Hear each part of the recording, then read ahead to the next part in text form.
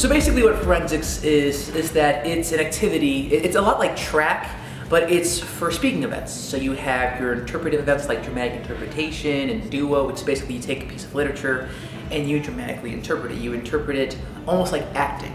And then you have your um, other speaking events where it's more like you speaking on some sort of topic. Uh, either you know seriously, we have events that you, you speak on topics seriously, or you have uh, an event called Speech Entertain, where you speak about you know relevant topics, relevant social topics in a humorous manner. And so basically, you have a, team of, of members who uh, go to competitions, either here or in some situations, even in other states or across the country, depending on which tournament you go to. And you compete against other people in those events. Just like track, you compete in, in, in rooms in what we call preliminary rounds, where you compete against you know five other people in that same event that you're doing. And it's a really, really fun way for you to kind of uh, grow both as a speaker and as an actor even throughout all the events that you do. And it's a great way as well for you to become close to your teammates and even with people from other schools.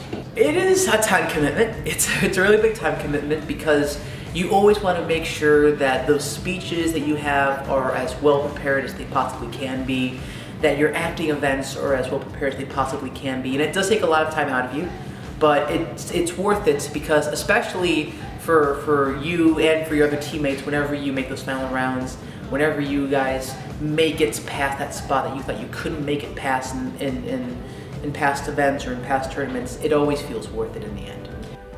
To gold at Nationals was one of the most unexpected, yet one of the, the happiest moments of, of my life, not just in the fact that I was able to gold at a national tournament, especially when I thought that wasn't possible, uh, before you went to nationals, but the fact that I was able to share it with my twin was was definitely a really really cool moment.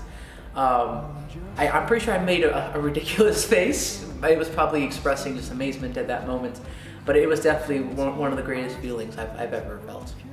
I say oh, others should join forensics because being able to speak in front of an audience is something that you will always need and regardless of, of any field that you enter. And, and even if you think that you won't need it, if you're able to say that you can speak in front of a large crowd, you can entertain a large crowd, that you're comfortable in front of an audience, that's going to be impressive to any employer out there. They're always going to like people who aren't afraid to take uh, the extra step to go in front of other people and to be comfortable and to give an audience or a, a, room full of people a presentation or just some sort of some sort of speech that they'll never forget.